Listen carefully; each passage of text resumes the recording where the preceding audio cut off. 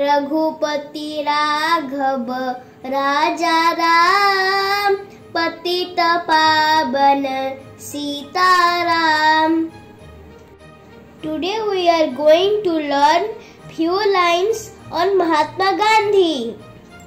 Mahatma Gandhi was born on 2nd October 1869 in Porbandar, Gujarat. His full name was Mohandas Karamchand Gandhi.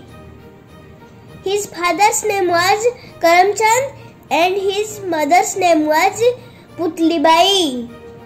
Gandhiji got married to Kasturba at the age of 13. He was a great follower of peace and non-violence. He is the father of our nation and we call him Bapu. Gandhiji studied law from the University of London to become a barrister. Mahatma Gandhi played a very important role to get India free. He was a great freedom fighter of India.